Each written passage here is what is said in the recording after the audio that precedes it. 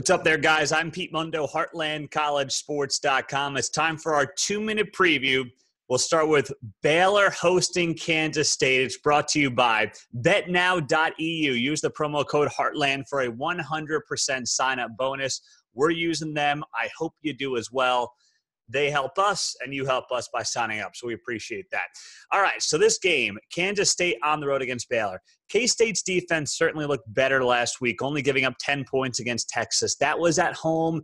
It was as much of a must win game as you can have in September. Bill Snyder needed to silence some of the doubters. He was unable to do it. We'll see if Skylar Thompson gets the start this week who knows? That might have changed the way that game turned out last week had Skylar Thompson played the entire game. So didn't look like Snyder was still all on board with Skylar Thompson, at least based on what he said to the media so far this week. So I still have doubts about what Kansas State's doing at quarterback.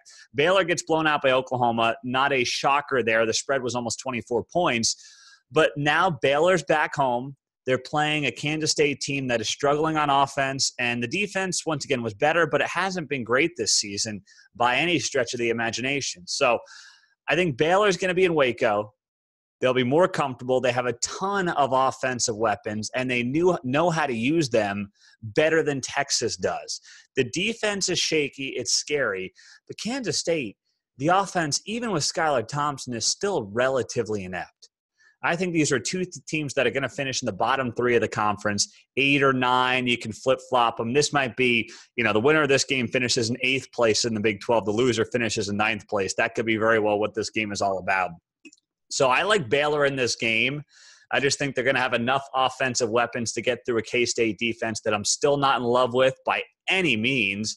And Kansas State does not have enough offensive firepower to keep up even against a mediocre Baylor defense. So give me the Bears by a final of 27 to 21 over Skylar Thompson, Bill Snyder, and the Kansas State Wildcats in Waco. Thanks for joining us. Please do subscribe. We got much more coming right here on HeartlandCollegeSports.com.